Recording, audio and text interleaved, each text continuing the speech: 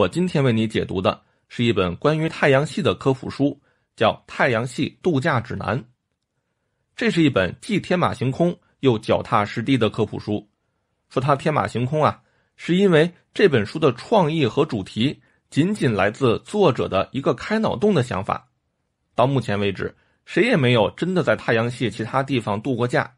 不但我们普通读者没有去过，全世界航空航天工作者加在一块儿。也仅仅只登上过月球，在太阳系里度假，短期来看呀，只能是个美好的憧憬。不过啊，在太阳系其他地方度假这个想法虽然天马行空，书里的内容却是非常的脚踏实地。本书的两位作者有着很好的天文学功底，作为负责任的科学家兼导游，他们所提到的每个星球、每处景观、每个观测工具。依据的都是最新的科学研究成果。太阳系是我们的地球和太阳所在的星系，这里孕育和演化了太阳、八大行星，还有数不清的小行星、彗星和卫星。在这本书中，作者用旅行手册的方式为我们介绍了一系列有关太阳系的知识，以及航空航天工作的基本原理。尽管我们无法真的去体验一把。太阳系度假是什么滋味？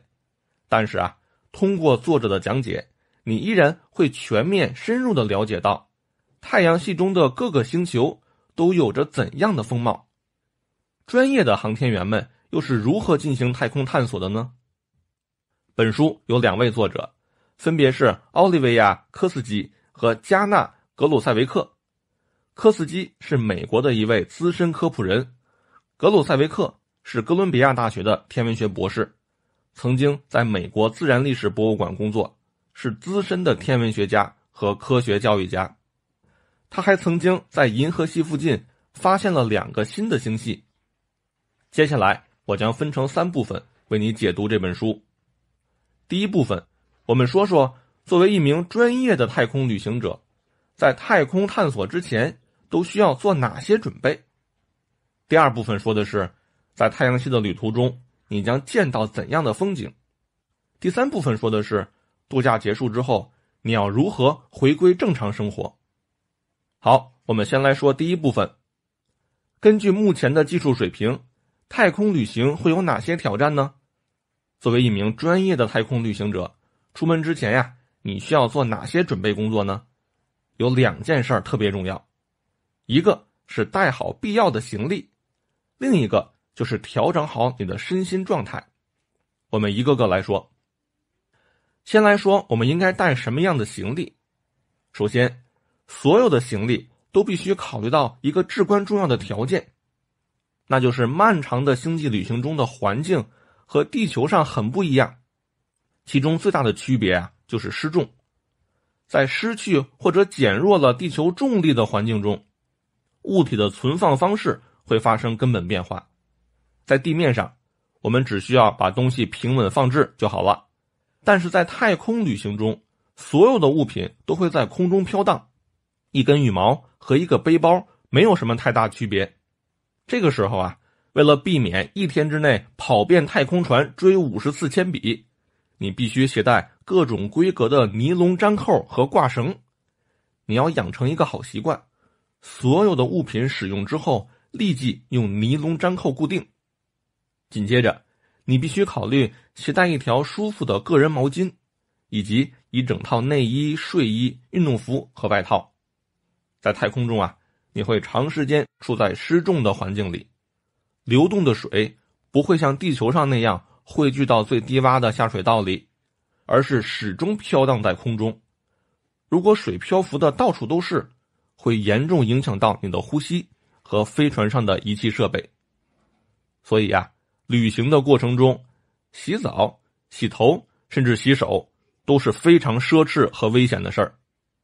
为了避免头发和面部出油，让你的度假旅行更舒服一点，最好的方式就是穿着抗菌和舒服的衣服，以及用毛巾擦脸和头发。毛巾还有一个重要功能，一旦你发现有水滴飞溅出来，可以迅速用毛巾。抓住这些飘荡在空中的小水球。除此之外呀，基本建议就是减少行李的重量。平均来说啊，现在把一千克重的东西送到距离地面四百公里的国际空间站上，花费的成本呢超过两万多美元。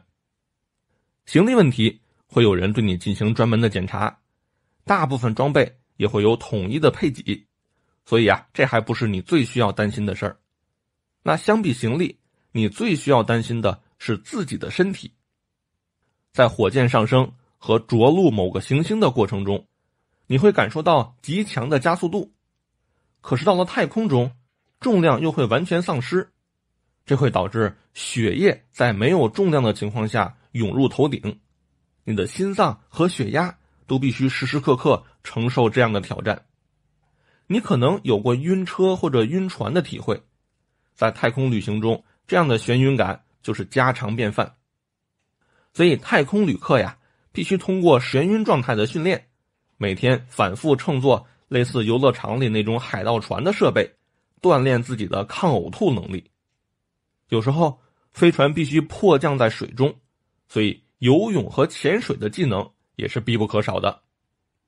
不但如此，如果你真的向往太阳系度假旅行，我强烈建议你啊，从现在开始采取各种办法增强自身的免疫力。这么说可不是一句空话，可能和你之前想象的不太一样。太空飞船和空间站呀，很有可能是最脏的地方，最容易感染疾病。我们在地球上的房间里打扫卫生最常用的方法呢，一般是扫地和擦地。为什么扫地和擦地有用呢？是因为在地球重力的作用下，灰尘、污染物、飞沫等等脏东西。会慢慢的飘落到地面上，但是在失重的太空旅行中，这些脏东西啊，永远在空中飘荡，特别容易被吸入体内。出汗、说话的和呼吸产生的飞沫，在太空中都会成为令人头疼的污染物。这还不算最严重的情况，更糟糕的是，漫长的旅行过程中，无论是专业宇航员还是太空游客，都必须上厕所。而大小便秘要通过专门的真空设备吸收之后妥善保存，但是啊，这些系统过于复杂了，时间一长难免出现一些机械故障。比如，二零一九年二月一日，国际空间站卫生间就发生了一次泄漏故障，宇航员只能和从卫生间流出来的食生液体艰苦奋战。这样的情况在过去几年里反复出现。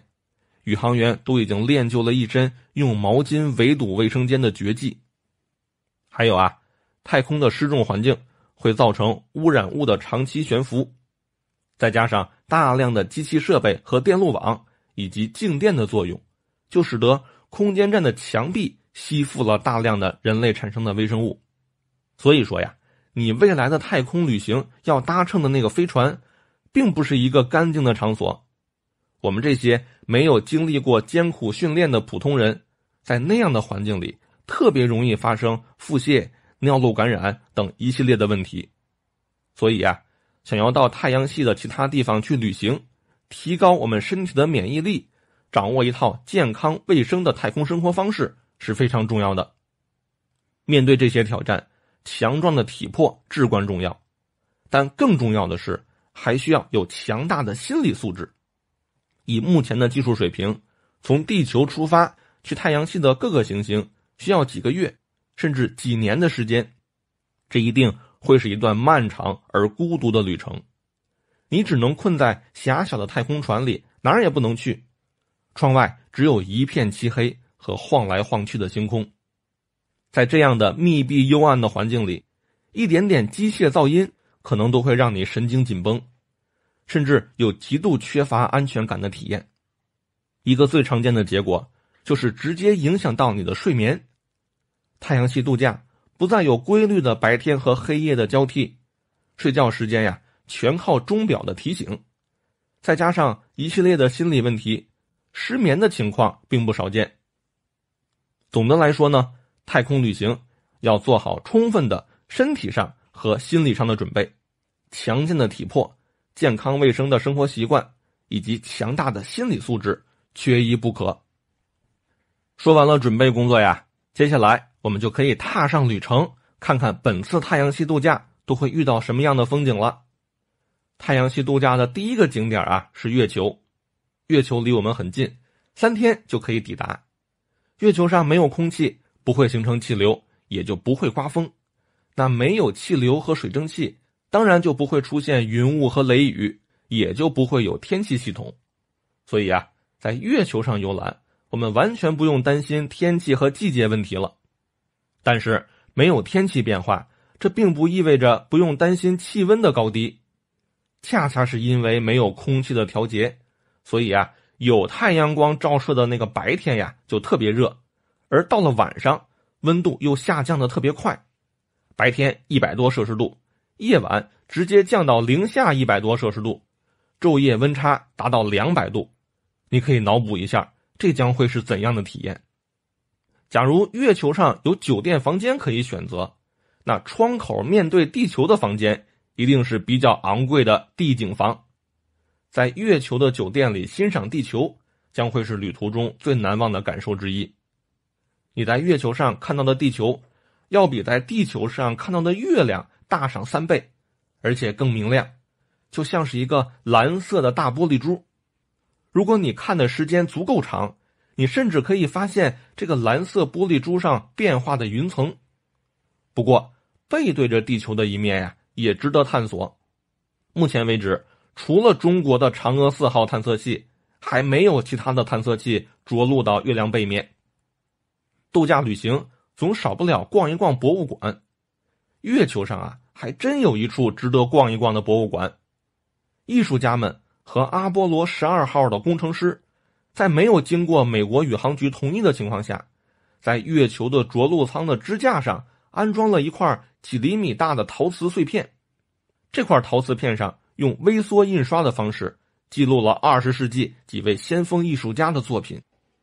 现在。这块小瓷片就躺在月球的平原上，所以啊，在月亮上找到阿波罗十二号的遗迹，然后举着放大镜逛一逛这个月球迷你画展，也是个不错的体验。逛完了月球，真正的太阳系旅行才刚刚开始。离开月球前往火星，才算是真正离开了地球的怀抱，进入了太阳系行星之间的太空。按照我们今天掌握的技术。去火星必须等待时机，在火星每两年一次最靠近地球的时候出发，比较节约能源和时间。去火星的旅行啊，大约需要两百天。一旦你登上了火星的陆地，一定会觉得自己正处在地球上最干燥的荒漠。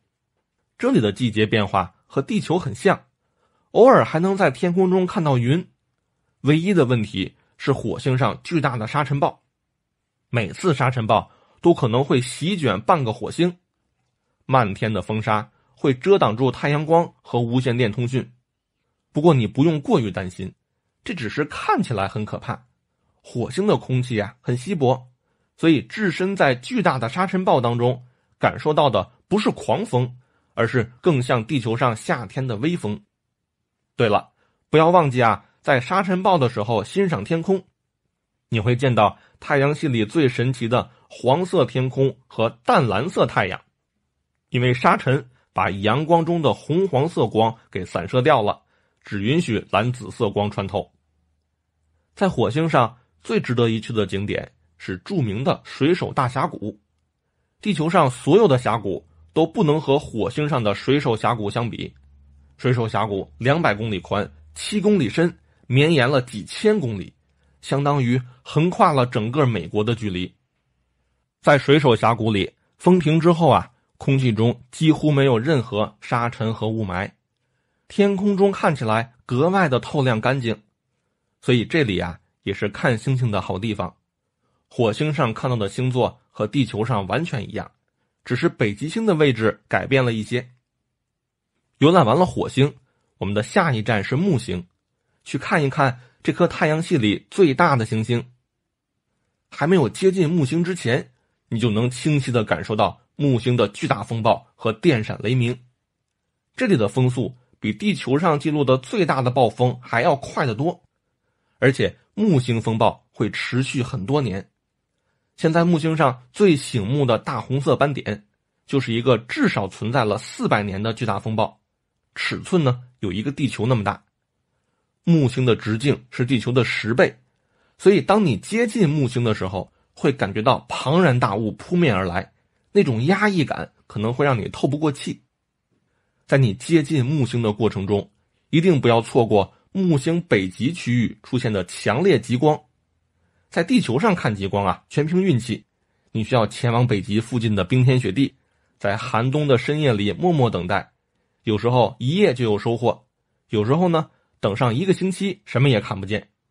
就算看见了，还有可能是微弱飘渺的光束。但是在木星上看极光太简单了。这里常年累月有极光爆发，而且亮度比地球极光强大一千倍。但是我们可不能在木星附近停留太长时间了，这里的放射性太强，时间长了对人体有害。更遗憾的是，我们也没有机会登陆木星，只能围着它看看，因为木星啊完全是气态的风暴球，根本找不到坚实的陆地。所以欣赏完木星的风暴和极光之后。我们将继续飞往土星。前往土星的旅程啊会更长，需要飞行三年。你在这里发的自拍照，地球需要一个多小时之后才能收到。和木星类似，土星也是气态行星。到了土星附近，你会发现眼前的这颗黄色行星有着比木星更猛烈的风暴，就像是一滴黄色颜料滴入了旋转的水洼。整个行星都被搅动成了黄褐色。对于来自地球的游客来说，最新奇的景象是土星的大光环。在逐渐接近土星的旅途中，你会看到土星周围的黄色宽边大檐帽形态的光环。可是靠近之后，你才会看到它的真实面貌。这里啊，有数不清的小冰块互相连接在一起，共同形成了黄色的光环。再仔细看，光环从内到外有七个主要的圈层，每一圈又可以细分成数十万个更小的环形。欣赏光环的最佳角度是正面面对光环，也就是从土星的北极或者南极俯视土星。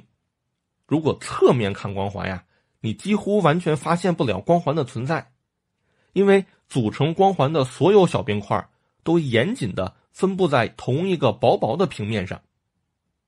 探索游览太阳系的旅途还没有结束，从距离上说呀，逛完土星也才仅仅走了三分之一。从时间上来说呢，还有九十年的旅程才能达到最远端的冥王星。对于生命有限的我们来说，拿出一百年的假期完成全部的太阳系旅程，实在是有点奢侈了。我们还来不及讲述。比土星更远的几颗行星，目前人类的探索程度也还不够详细介绍旅途中会遭遇的小行星和彗星。但我相信，随着航天技术的进步，也许不久的未来，我们就可以真的体验到太阳系旅行的乐趣，也会感受到更多不同的星球的风貌。现在啊，我还是赶快说一说假期结束的时候你要怎么回归地球吧。太空旅行和普通的旅行很不一样，在逐渐接近地球的过程，你会看到这个暗淡的小蓝点儿一点一点变大变亮，你会看到模模糊糊的白云、大陆形状、海洋轮廓逐渐清晰的过程，非常迷人。但是还有特别关键的一点是，这趟归途也同样充满了危机，比如说啊，飞船向着地球表面降落。会穿越地球外的电离层，电离层是大气层中的一层，这一层的空气都被分解成了带电的粒子，形成了一个信号屏蔽层。飞船在这一层中穿越的时候，无法发射和接收到任何通讯信号，基本会处于失联状态。如果在这个时候飞船出现故障，你将无法得到地面上的任何支持和帮助。再比如说，你下落的过程。本质上啊，和陨石撞击地球没有什么区别。你的飞船会和大气层摩擦发热，你会被几千度高温的烤箱包围，你能安然无恙，全都要指望飞船的外壳材料的稳定。当然，即便你安全的进入地球大气层，平稳的回到地面，你的挑战也还没有结束。因为在太空生活了很长一段时间，你的身体和心理都会发生改变，你需要经过训练才能重新适应地球上的生活。具体来说，有很多你可能已经忘记的细节需要被回忆和重新习惯。比如啊，你可能习惯了在太空中把喝完的水壶随手放在空间站的墙上，这样的习惯带回地球，你要准备好牺牲掉好几个马克杯。才能扭转失重生活带来的改变。仅仅碎几个马克杯，也许还没有什么，但你必须要知道，你的骨骼和肌肉也会因为之前的长时间太空旅行的失重环境而改变。长时间在失重状态下生活，会导致你的骨骼虚弱、肌肉无力。你回到地面上最开始的一个月，甚至会觉得走路非常吃力，尤其是脂肪厚重的臀部。肌肉纤维还有可能会在压力下断裂。此外，你还必须忘记轻轻一跳就能穿越房间的太空动作。有经验的宇航员们说啊，自己对这段时间最好的形容就是漫长的宿醉。从太空回来，你就好像是整夜喝酒大醉，浑身酸软无力，头脑供血不足，还特别容易情绪化。这种状态会持续好多天，甚至好几个星期。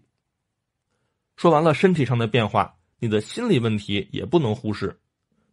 当你从太空返回拥挤的地球城市，你要做好适应心理变化的准备。面对拥挤的地铁、喧嚣的街道，甚至是家庭聚会，你都可能会觉得头晕眼花。你需要花很长时间重新适应密集的人群和他们的声音。你看，挑战无处不在。你的身体回家了，但实际上，你的记忆、精神。和你对时空的理解，很有可能还停留在九霄云外的太空船上，直到有一天你重新适应了地球上的一切环境，开始了往常的生活。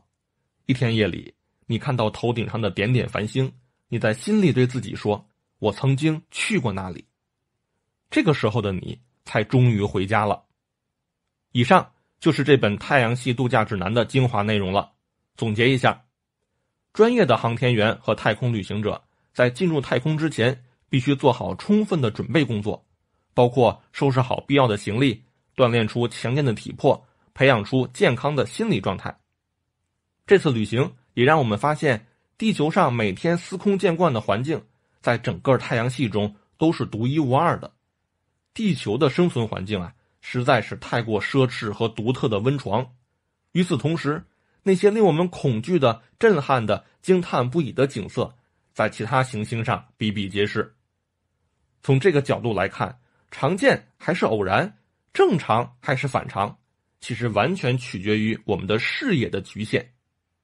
希望这本《太阳系度假指南》能帮你开拓一些视野，增加一点你对科学探索的兴趣。以上就是这本书的精华内容。点击音频下方的文。